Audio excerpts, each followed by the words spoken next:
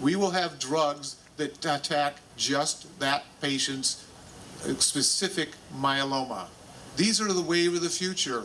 Immune therapies, targeted therapies, precision medicine, especially specified just for that individual. I don't want to retire. I'm old enough to retire. I've got too many things I could do to help all of you conquer this disease so that I can actually sit there and tell patients we have a cure. And that's our goal. Thank you.